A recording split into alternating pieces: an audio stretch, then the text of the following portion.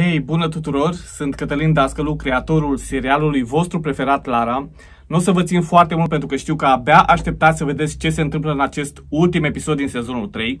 Vreau doar să vă mulțumesc foarte mult pentru toată susținerea voastră și pentru toată energia pe care ne-ați transmis-o episod cu episod, sezon cu sezon. Suntem la sezonul 3, ultimul episod și unii dintre voi practic au crescut cu acest serial pentru că sunt 3 ani de când facem serialul ăsta pentru voi. Vreau să vă mulțumesc foarte mult. Nu uitați, vă pregătim lucruri extraordinare aici la Mixton Music. Nu uitați să vă abonați la canal și să fiți cu ochii pe noi. Vă mulțumim încă o dată și dacă vreți ca Lara să continue, scrieți în comentarii. Vizionare plăcută!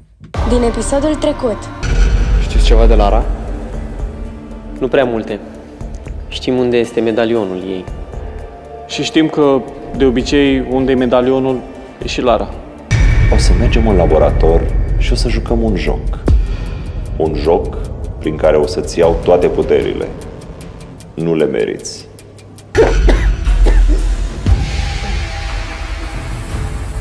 Da, așa e. Sunt un vierme. Dar știi care e avantajul viermelui?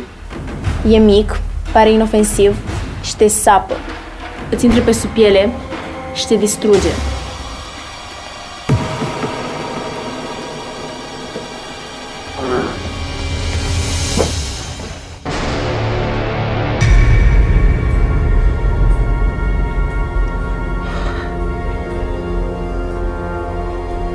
Înțeleg.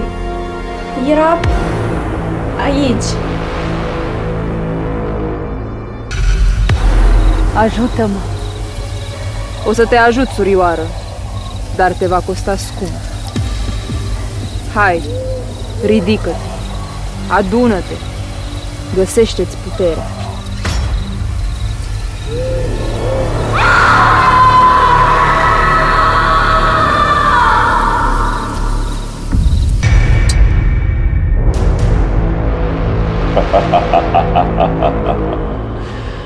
Chiar credeai că las lucrurile așa la voia destinului? Ai curaj. Ai fi fost un agent perfect dacă nu aveam alte planuri cu tine.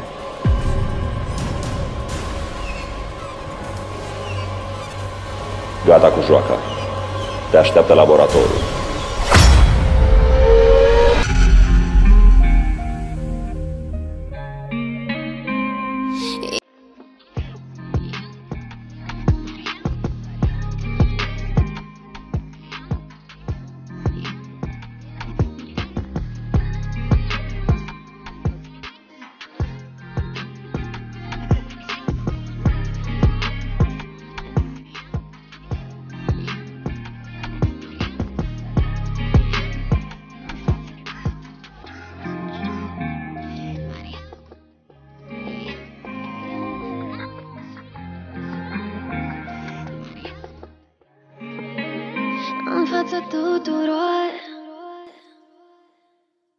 Cheamă agenții să o ducă în laborator.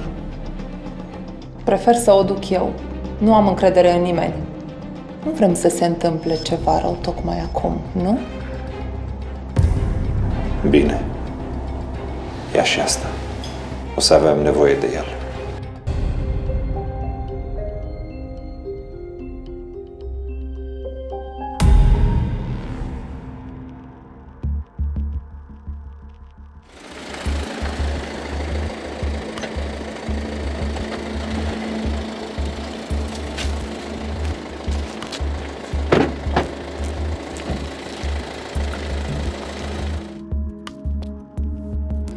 Din câte știu eu, aici este o fabrică de echipamente electronice de top.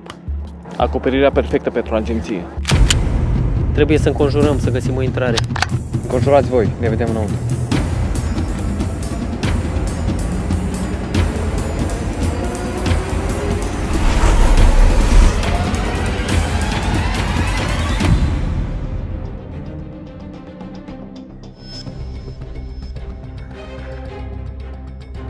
Vrem și noi ce vitamine ia el. Nu, nu cred că vreți. Hai să găsim o intrare. Lara, aș fi vrut să fie o altă cale, dar nu e. Într-un fel, și eu sunt prizonieră ca și tine.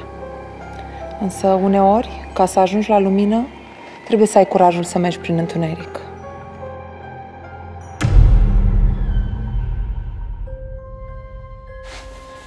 Miriam, am încercat și eu să fac curățenie cu puterea minții, însă nu merge. Scuze, mă tot gândesc la Fausta. După ce ai făcut, și ea se gândește la tine, sigur. Am auzit că vine o directoare nouă, chiar din seara asta. Atunci ar trebui să ne grăbim, să terminăm, nu?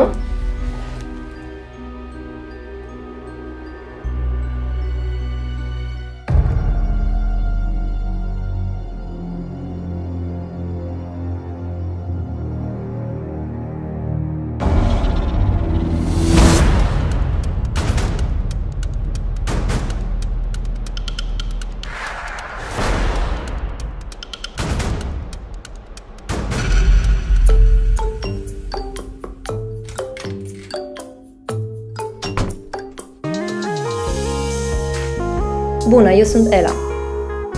Bună ziua, eu sunt inspector. Inspector șef Nathan, știu, am auzit numai lucruri bune despre dumneavoastră. Mulțumesc, dumneavoastră sunteți? Noua directoare a orfelinatului. Da, știu, am emoții, nu mă așteptam să primesc postul acesta de la Direcția pentru Protecția Copilului și Adopție. Nu mă așteptam la așa o apariție. Sunteți foarte diferită de... Fosta directoare? Da, știu. Am auzit numai lucruri groaznice despre ea. Săraci micuți. Eu abia aștept să-i cunosc. Dar te rog, spunem Ela, că cred că suntem de aceeași vârstă, nu? Ne putem tutui. Sigur, Ela. Cred că micuții vor fi foarte fericiți să te cunoască. Mă bucur că vor fi prime bune. Eu mă voi retrage. Am vrut doar să te cunosc. A fost o plăcere. Plăcerea e de partea mea, Nathan. Sau, dacă doriți, domnule inspector, puteți să treceți pe aici oricând. Te rog, Ela, ia cartea mea de vizită. Mă poți contacta la orice oră, pentru orice, orice problemă. Mi-a părut bine, pe curând.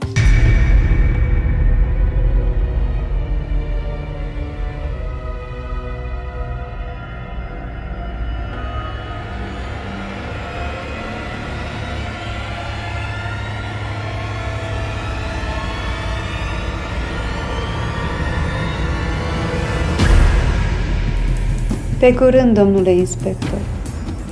Nu vă faceți griji. Copiii sunt pe mâini bune. Din nou.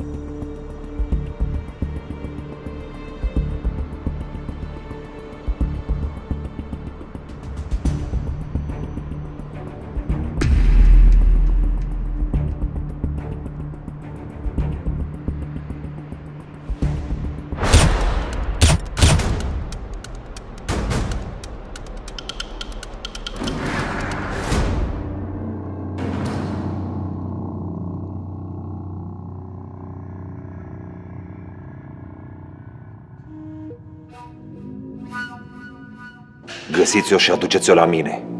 O vreau vie.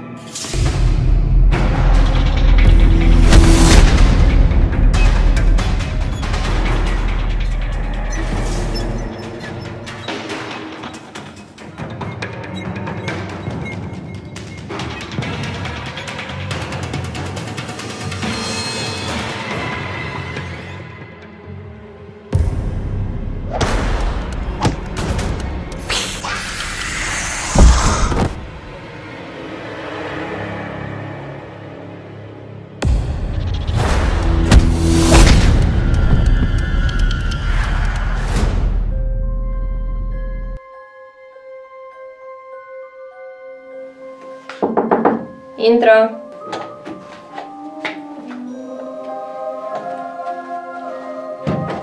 Bună seara, doamnă! M-ați chemat?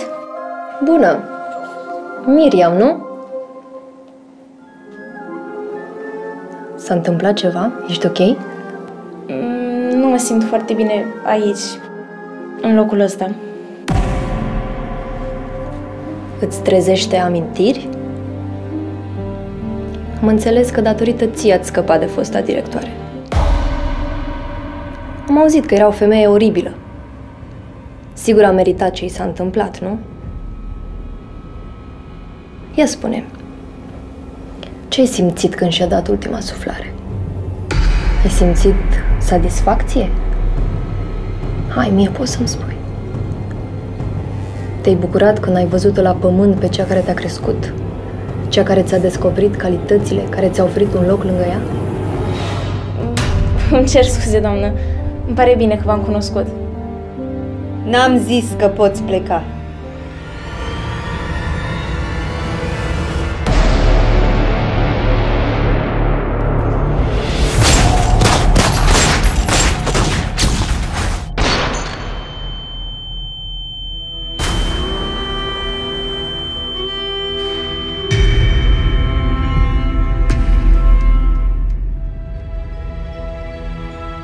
Ira, nu ne-ai spus niciodată de unde e moneda aia? Am mai văzut-o la... Morfelia. A fost aici. În dormitorul nostru? S-a zis cu somnul meu liniștit. Da, mi-a zis mai multe chestii, cum că sunt specială și că ar vrea să fie familia mea. Ești specială. De-aia ești prietena mea cea mai bună. Iar familia ta este chiar aici. Te poți baza pe noi oricând. Mersi, Agnes. Însă s-a referit la altceva. Și plus, am văzut în oglindă. Era diferită. Era un monstru. Eu te cred. Fausta și Morfelia au fost împreună de mici. Practic, sunt ca niște surori. Ne putem aștepta la orice. Unde e Miriam? Stă de ceva timp în biroul noii directoare. Te gândești la ce mă gândesc eu, că nu e bine să facem? Nu putem da buzna așa în birou. Nu dăm buzna. Batem la ușă civilizat.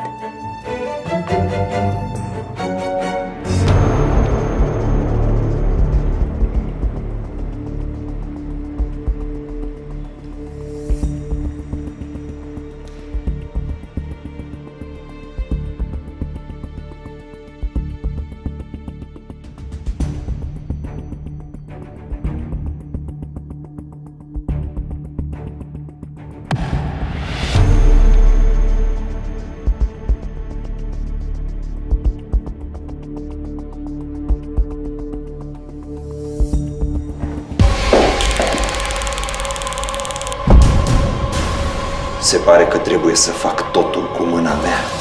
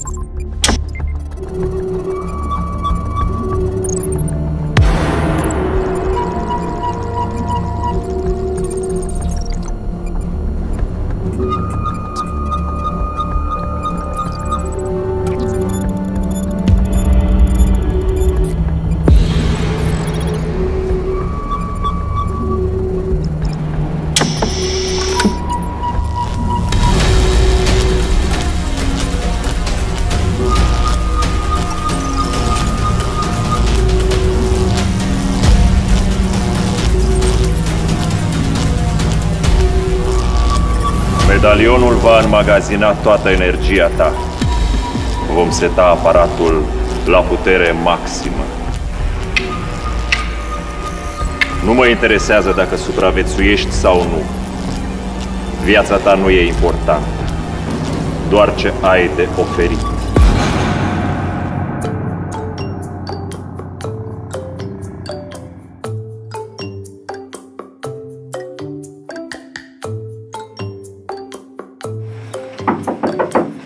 Da? Bună ziua! Bună, intrați! Eu sunt Ela, noua directoare a orfelinatului. Urma să facem cunoștință mâine dimineață. Să știți că acum sunt foarte obosită, dar mă bucur să vă văd. Ne cerem scuze. O căutăm pe prietena noastră, Miriam. Îmi pare rău, nu știu, nu a ajuns încă. Probabil o să o cunosc mâine și pe ea. Ne scuzați. O seară bună.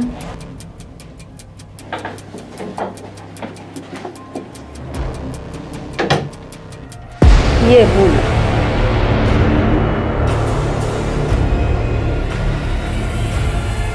Cea mai bună.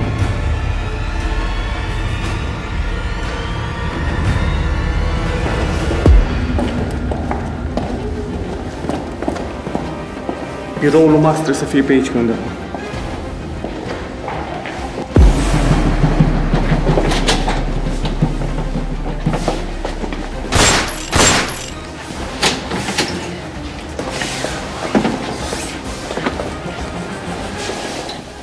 Credeam că nu mai ajungeți la noi. Nu, acesta nu este biroul lui Max și nu, nu are un safe cu bani în el și da, suntem aici pentru experimente.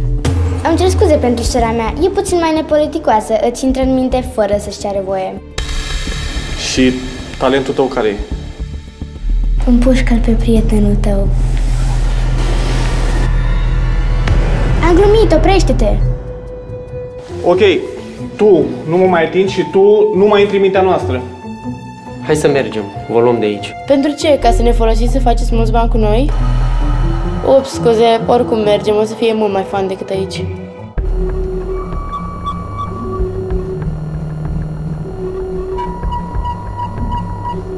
Ai supraviețuit. Îți bate slab inima, însă nu pentru mult timp. E mai bine așa, Lara. Oricum ai fost doar o greșeală de proiectare. Acum să trecem la etapa a doua și cea mai importantă.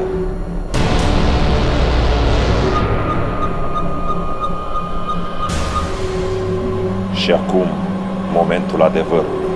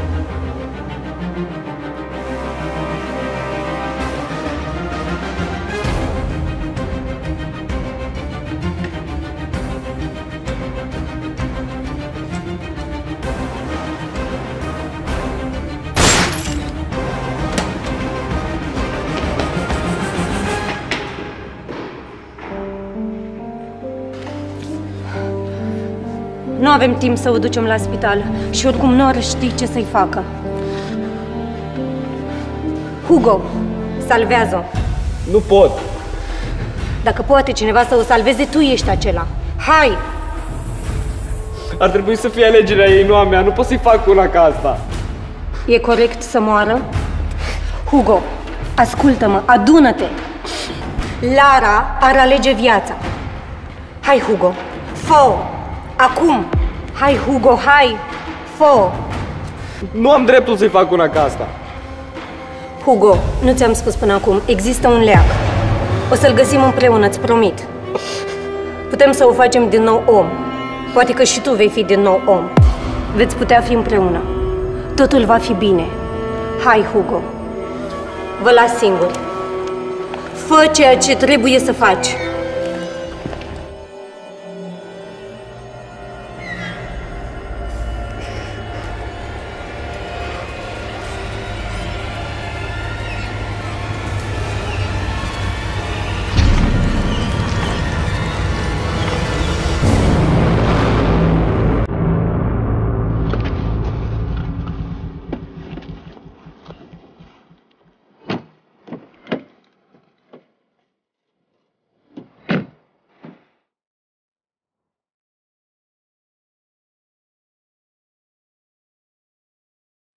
femeia se gândește că va găsi o mașină pe aici. Se descurcă și gândește că fratele tău are nevoie de îngrijire medicală.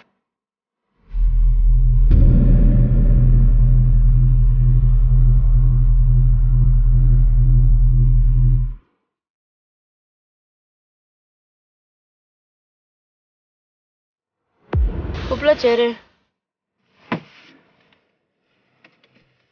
Cheile, nu găsesc cheile. Au găsit o mașină, dar uh, nu au cheile.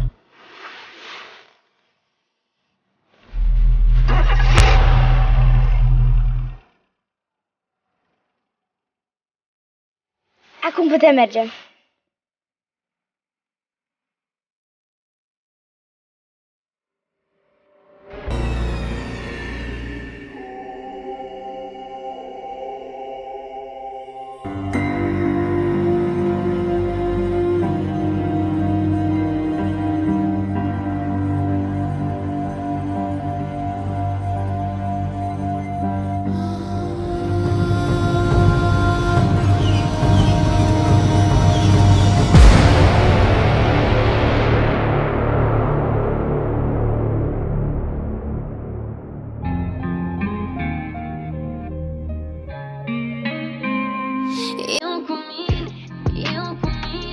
But you.